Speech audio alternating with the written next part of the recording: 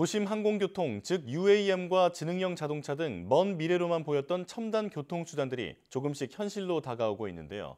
이런 미래 교통 산업에 대한 연구와 시험에 특화된 이른바 모빌리티 대학이 대구에 들어서게 됐습니다. 김근우 기자입니다.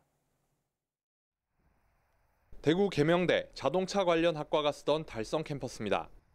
18만 제곱미터가 넘는 이곳이 7년 뒤면 모빌리티 대학으로 변신합니다.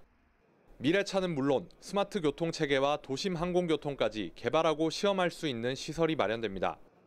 연구소와 기업이 함께 있는 공간에서 500명 넘는 학생과 연구자들이 머리를 맞대며 시너지 효과를 극대화할 것으로 보입니다.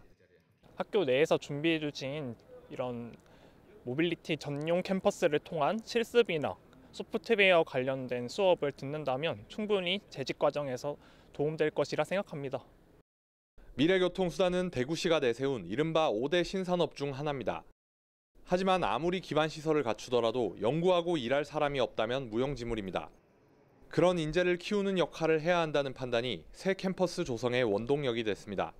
학생들도 결국은 기계공학과 전자공학이 어우러지는 그런 세대에 입학하기 때문에 그 영역에서 인재를 양성하는 것이 우리의 목적이고 지방자치단체가 함께 팔을 걷어붙인 이유도 결국 사람이 중요하다는 공감됩니다.